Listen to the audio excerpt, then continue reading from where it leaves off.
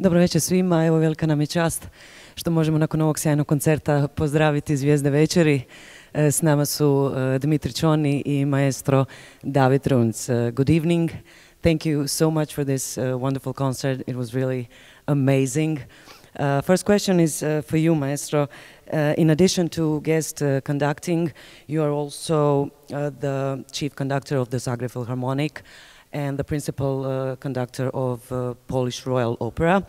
Uh, what is your impression of your reception of the Zagreb audience, and how hard is it to to balance between these two positions, and I assume frequent travels between Warsaw and Zagreb? Hvala vam što ste došli, divno je bilo i divan je bio koncert, hvala vam još jednom na tome. A, sad prvo pitanje je za maestra Runca. Uz nastupe kao gostujući dirigent, istovremeno ste šef dirigent Zagrebačke filharmonije i glavni dirigent Poljske kraljevske opere. Kakav dojam imate o tome kako vas je prihvatila zagrebačka publika i koliko je teško uskladiti te dvije pozicije i pretpostavljam česta putovanja na relaciji Zagreb-Varšava?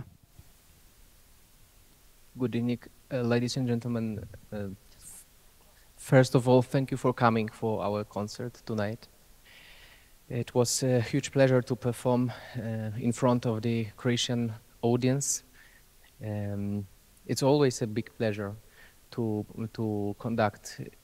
It doesn't matter, uh, is it Zagreb Philharmonic Orchestra? Is it Liechtenstein Symphony Orchestra?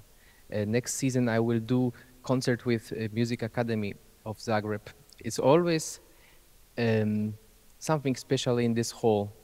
The audience which enjoy the music, um, and from my point of view, I can tell you when I conduct, and of course I'm behind, uh, I'm turned out from the audience, so audience is out of my back.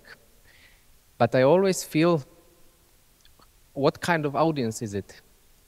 And here in Zagreb, I I think I have this feeling of big support from audience who follow our uh, performance.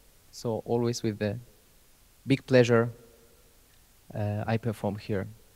Regarding to my um, job as a conductor, of course I count very carefully every day. Uh, I mean, I count even every hour what I will do uh, just to bring all things together. Um, so um, basically, in Zagreb, I spend every month for one week. I'm here for Zagreb Philharmonic Orchestra. Uh, I'm working in Warsaw, as you mentioned, and besides of that um, responsibilities, I I do some projects, some concerts with uh, with the orchestra. Only in May, I had a concert uh, in Madrid, two concerts in Liechtenstein. Now, here tonight, next week Zagreb Philharmonic and Beethoven Symphony Number no. Nine, and then it's June. Wow, what an energy! so yes, it's very difficult uh, also to bring together family time. Uh, when my wife is with me, then it's always a big support. And this time she co could not come, but next week she will be here for Beethoven Symphony Number no. Nine. So I'm always very happy.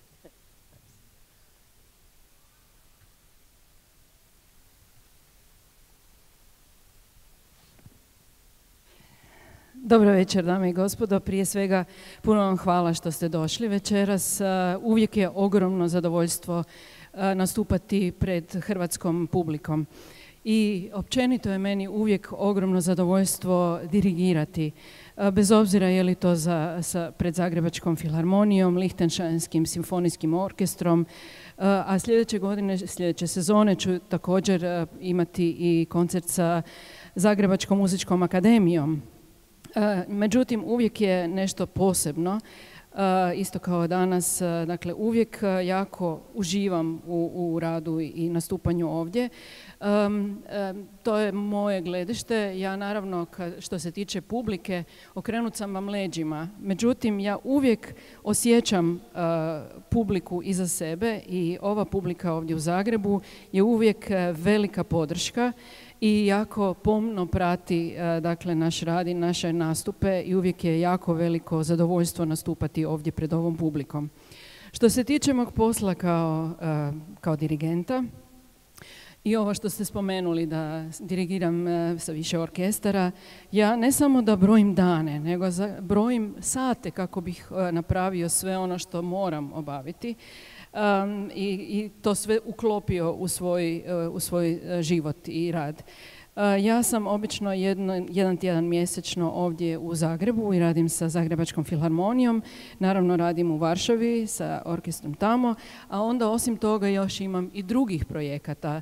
Samo ovog svibnja bio sam tako u Madridu, izveli smo sad e, dva koncerta u Lichtensteinu, sad sam u Zagrebu sljedeći tjedan također sa Zagrebačkom filharmonijom izvodimo Beethovenovu devetu simfoniju, a onda je već lipanj. Um, što se tiče obitelji, isto je teško uskladiti obiteljski život sa ovim radnim i uh, velika mi je podrška kad moja supruga uh, dođe na moje nastupe, jer mi je ona dakle, podrška. Ovaj vikend, ovaj tjedan nije mogla doći, međutim sljedeći tjedan će biti ovdje za Beethovenovu devetu i to će mi biti jako drago.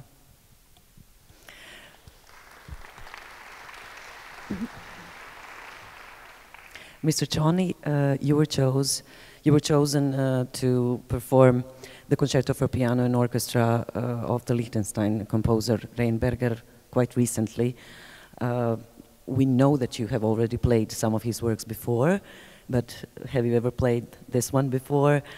And uh, how difficult is it to to to manage uh, to practice such a demanding piece in just a few weeks? Drugo pitanje je za Dmitra Čonija. Relativno nedavno ste izabrani da svirate ovaj koncert za klavir i orkestar lihtenštajnskog skladatelja Jozefa Gabriela Reinbergera.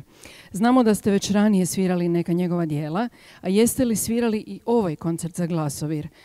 kako ste uspjeli pripremiti tako zahtjevno dijelo u svega nekoliko tjedana? Hello everyone. Um, I would like to say a few words of uh, thank you to the audience for such a warm support. It's been a pleasure playing here. Uh, I played in Croatia before, but it was my debut in Zagreb, and I'm happy that I could play here with Maestro David Runs and Symphony Orchestra of Liechtenstein. It's been a great pleasure, wonderful collaboration, and I hope we will meet again in future and um, among other places here too. Um, so I I have to say that um, when I um, got invited to play this concerto, I just uh, I just listened to it and I immediately felt that um, this I understand this music. It's a beautiful romantic concerto which was uh, influenced by by Beethoven, by Schumann, by Liszt. You can hear some moments similar to their piano concertos in this piano concerto by Josef Gabriel Reinberger.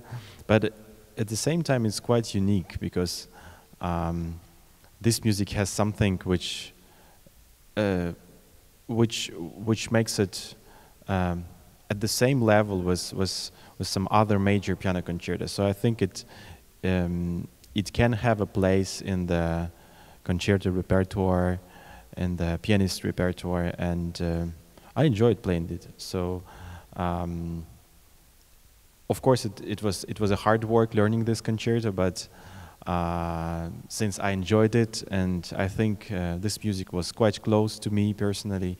Um, I was I was happy to do it, and I was happy to learn it. And it was, you know, it was quite a unique um, opportunity to play it with this Liechtenstein Symphony Orchestra, uh, playing concerto by Guy, uh, Reinberger, who was born in Liechtenstein. So it's a perfect match. And as the maestro mentioned, you already performed twice this week in Liechtenstein. That's right. So so we played on Tuesday and uh, Wednesday, yes. And so it was my first time playing it on Tuesday. I guess Maestro David Runs uh, as well and I think it was different playing it every time, but uh, in general it was better and better understanding between the. Today was the best. Yes, says, we got the best maestro. version. Thank yeah. you for that.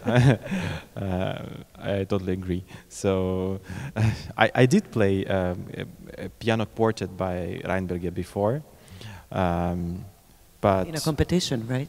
No, no. We had several concerts in Liechtenstein and and in in the United States. Uh, was was a was a musicians from the music academy in Liechtenstein. So, um, but this concerto I like it even more than the quartet. So, yeah, very enjoyable experience.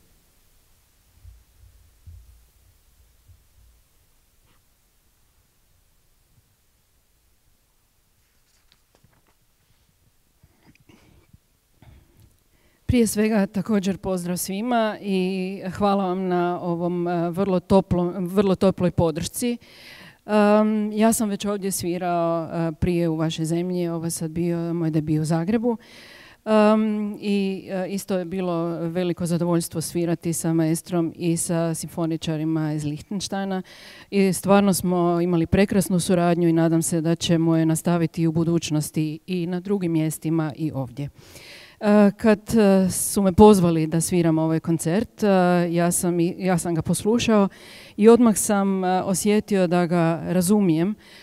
On vrlo je romantičan i isto tako ima neke dijeliće i čuje se i djeluje kao iz Beethovena i Schumana i Lista i to je vrlo slično, dakle nekim njihovim dijelovima glazbe, a s druge strane je potpuno jedinstven.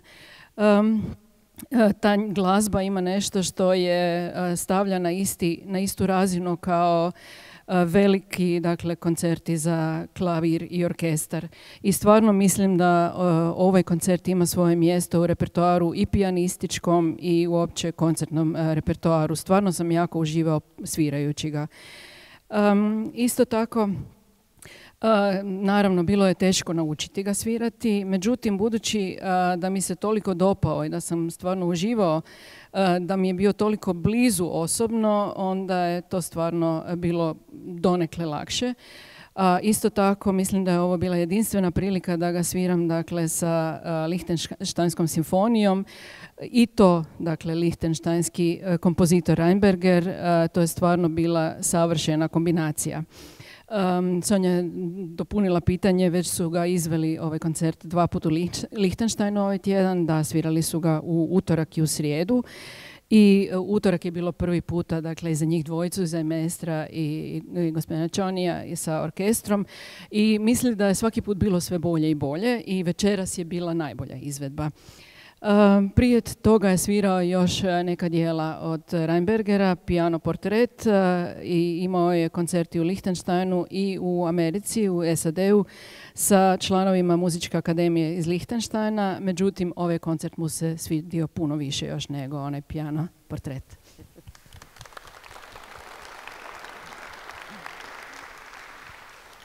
Maestro Runz, uh, you you are only 31 years old and you already have an impressive uh, career. You have conducted uh, uh, great musical works, famous orchestras, and you have worked with amazing conductors such as Riccardo Muti and Daniele Gatti. Do you sometimes feel that uh, some, because of your age, maybe some musicians or orchestra members don't perceive you as an authority? And do you have maybe some special recipe for that kind of situations? Maestro Runci, imate samo 31 godinu, a već imate impresivnu karijeru. Već ste ravnali poznatim orkestrima i velikim dijelima, te surađivali i s velikim dirigentima poput Ricarda Mutija, Daniele Gatija. Osjećate li ponekad da vas zbog vaših godina neki glazbenici ili članovi orkestra ne doživljavaju kao autoriteti? Imate li neki poseban recept za takve situacije? Uh, now, uh, thanks to this uh, introduction, everybody knows what is my age. I'm so sorry, was that a secret? No, no, this is not a secret. But how can I? Uh, this is not my fault that this is my age. I, I just, of course. I mean, um, I was lucky to, to really to, to learn with great conductors, the old school, very well conductors. And the paradox is that the better orchestra I conduct, the, the bigger support I receive. And I didn't um, I don't remember that I would ever have some some um, situation that musicians don't want or don't want to cooperate or uh, want to, to, to, to, to have some bad atmosphere in the orchestra. No, I think that uh, the most important what you can do when you are young is just to be prepared as the best what you can. So I, besides all of these activities, what I spoke about, uh, concerts, uh, traveling, etc., there's also a time, uh, the time which I need to find for learning myself the new scores. And this is uh, extremely difficult. At the same time, it's extremely important because when I stand in front of the orchestra where it's 80 people, uh, I must be prepared for every question actually. So it takes really uh, quite a long time. Um, and uh, well, when I get prepared, when I know the context of the history of music which I conduct, then it's easier for me to follow my direction, my interpretation, and well, I try to encourage people from the orchestra. And one short uh, thing that mm, because I'm 31, as you said. So every time when I stand in front of the orchestra is like a lesson for me. I, I, I learn every rehearsal. And this is what I love in this job, that I'm, I meet wonderful musicians. I meet excellent musicians. Also here in the Liechtenstein Orchestra, there are people who played with many better conductors than me. But we, in talking with them, I feel that I, I get inspiration and they also inspire me. So uh, this is something unique in, in this profession. I just need to say, uh, among all other things, I'm so sorry. Uh, we noticed uh, one more impressive thing, and that was that you conducted most of the pieces without scores. How do you maintain your concentration? It's really fascinating. Yes. To, to, to, to yes, and this is about uh, concentration. Um, and I must say, um, of course, it requires uh, hard work, some probably talent, ability, of course, but concentration on the concert. And whenever uh, we, uh, I do a concert, uh, and um, when I'm inside of the music and I hear the ring, the ringing phone, I cannot do it because I'm not computer, and it's so much disturbed that sometimes sometimes is for us too much and we all musicians always ask uh, just that the audience also join to this atmosphere of concert and we everybody are concentrated not only conductor and musicians but also the audience and when we are all together those three elements are connected then is performance completed um, I will need a lot of concentration now to repeat this before you go on. Let me.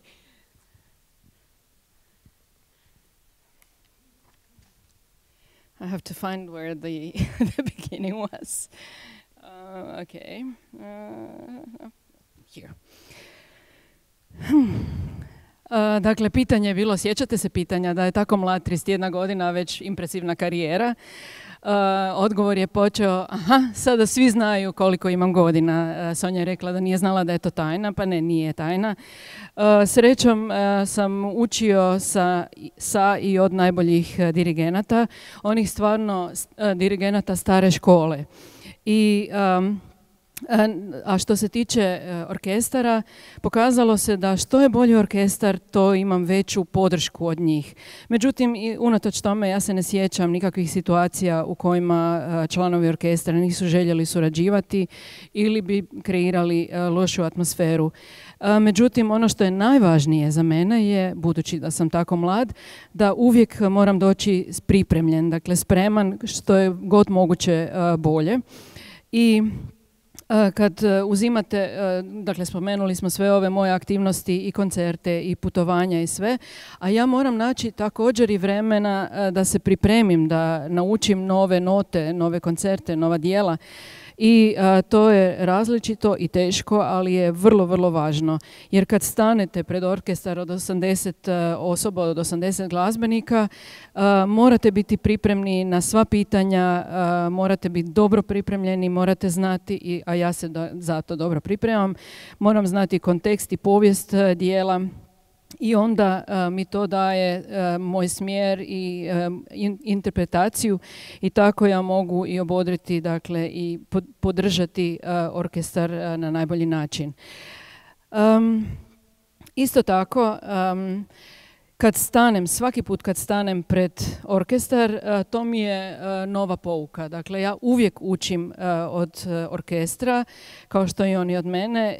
Ja, se, ja susrećem odlične glazbenike koji su svirali i sa puno boljim dirigentima od mene i razgovarajući s njima, oni su inspiracija meni kao što se ja nadam da ja inspiriram njih.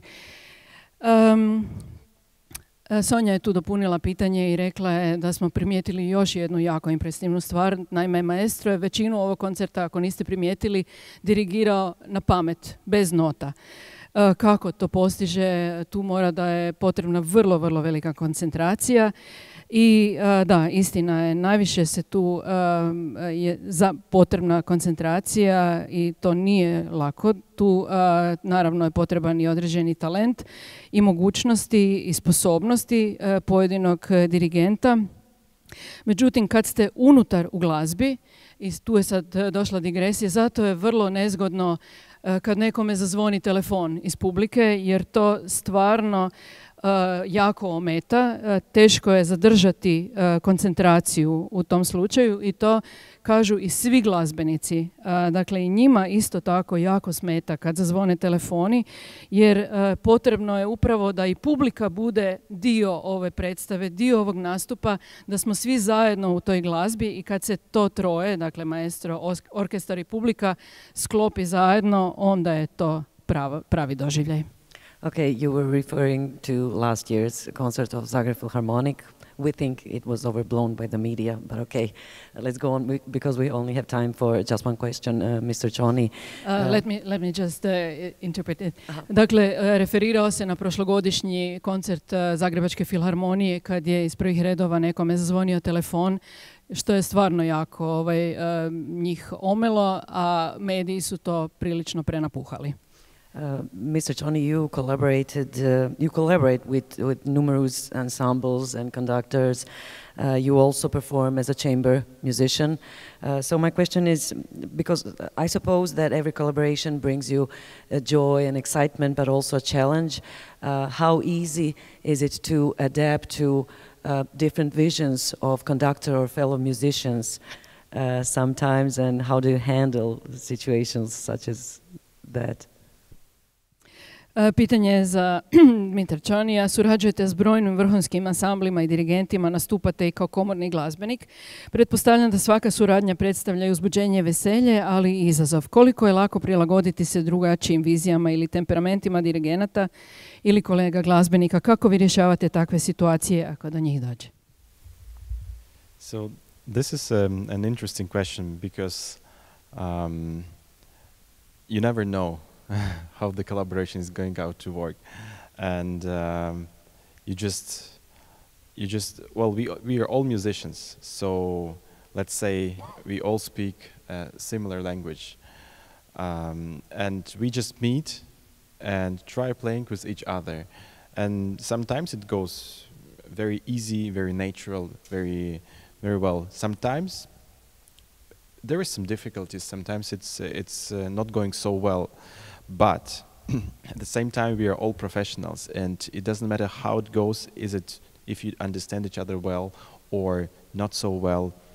There is a professional side when you have to adapt, you have to be flexible, you have to work on the collaboration, and uh, in the end, the, the, the, final result always has to be as good as possible.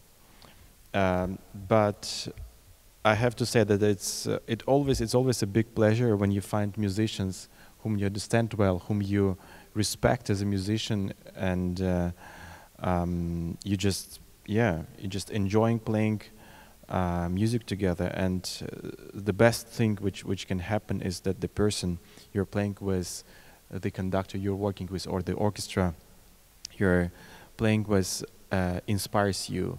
Then it's, it's, um, it's a moment when you get inspired and you want to play better, you want to match those musicians. So it's a very interesting process and um, um, I love I love it when when when something happens, um, something wonderful happens, and I have to say that I.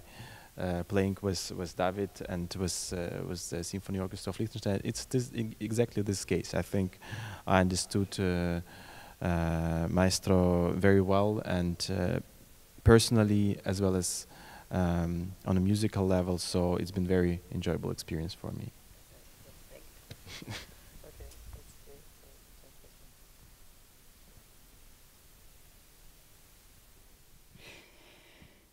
E, ovo je vrlo zanimljivo pitanje. E, nikad naravno ne možete znati kako će izgledati suradnja. E, mi smo svi glazbenici koji govorimo sličan jezik, sličan jezik glazbe i uh, uvijek pokušavamo dakle uh, svirati uh, zajedno što je moguće bolje. Nekad je to prirodno i lako, a ponekad je malo teže i ne tako lako. Međutim, svi smo u krajnjem slučaju profesionalci. Potrebno je prilagođavati se, biti fleksibilan i zajednički raditi na tome da u, u krajnjem, krajnji rezultat bude što je moguće bolji. Um, Ponekad je stvarno e, veliko, veliko zadovoljstvo kad pronađete glazbenike koje poštujete i s kojima uživate svirati e, i na, stvarno je najbolje kad se to poklopi, kad e, pronađete i dirigenta i orkestar koji vas inspirira i, i s kojim onda stvarno tako želite svirati još bolje nego što inače svirate. To je stvarno zanimljiv proces i u slučaju upravo maestra Davida Runca i ovih ovog lihtenštajnskog orkestra, to se upravo i dogodilo. Stvarno smo kliknuli, dakle razumjeli smo se maestro i ja i na osobnoj razini i na razini glazbe i zato sam stvarno jako uživao u ovom koncertu. Thank you so much for tonight and thank you for being the part of uh, Saturday at Lisinski concert series. Maestro, we will see you next season. We hope to see you soon also and we wish you all the best in the future. Thank you. Thank you very much. Hvala i vama, poštovani posjetitelji. Oprostite što se ovo malo odužilo. E, bio je ovo zadnji ovo sezonski koncert u ciklusu Lisinski subotom. Vidimo se sljedeće sezone kada ju otvaramo 30. rujna. Do tada svako vam dobro i lijep vam pozdrav.